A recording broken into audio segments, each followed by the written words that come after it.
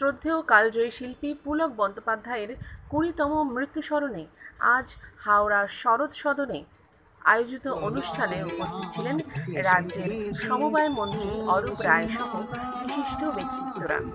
উক্ত অনুষ্ঠানে এসে মন্ত্রী বলেন, পুলক বন্দ্যোপাধ্যায় সেই মহান শিল্পী যিনি যে কোনো একটি ঘটনার উপরে মুহূর্তে গান বেঁধে ফেলার ক্ষমতা রাখতেন। তার অনেক কালজয়ী গান আজও অমলিন।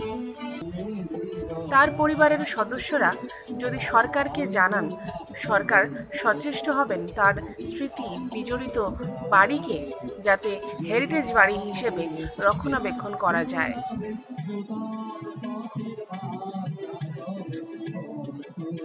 সরকার অর্থমন্ত্রী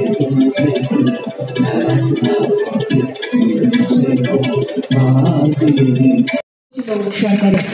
ব্যানার্জি এবং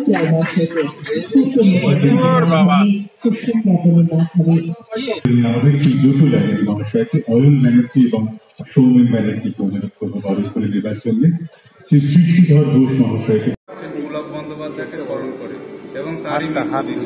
কতটা এটা প্রাসঙ্গিক বলে মনে হয় এই ধরনের অনুষ্ঠান পুলকবাবু আমাদের হাওড়ারই নাগরিক ছিলেন আমরা এই প্রোগ্রামটা আগে দু বছর আগে কলকাতায় হতো। এই প্রোগ্রামটাকে হাওড়া আনার প্রধান উদ্দেশ্যই হচ্ছে পুলকবাবুকে স্মরণ করা। এবং আজকে ওনার মৃত্যু দিন সেই জন্যে এই দিনে আজকে এই প্রোগ্রামটা করা। হাওড়ায় উনি হাওড়ারই মানুষ হাওড়ায় জন্মেছিলেন হাওড়ায় মারা গেছেন এবং আজকে এই দিনে যে হাওড়ার মানুষ ওনার গান শুনতে পায় সেই প্রচেষ্টা আমরা এখানে করছি। এবং আমরা আশা রাখব যে আগামী দিনেও এই ধরনের প্রোগ্রাম মাধ্যমে আমরা করার ইচ্ছে কোন শিল্পী আসছেন আজকে এখানে শিবাজী চট্টোপাধ্যায় অরুণজ্যোতি হোমচন্দ্রী বৈকুণ্ঠ শুক্লা এরপরে গাইবেন। এছাড়া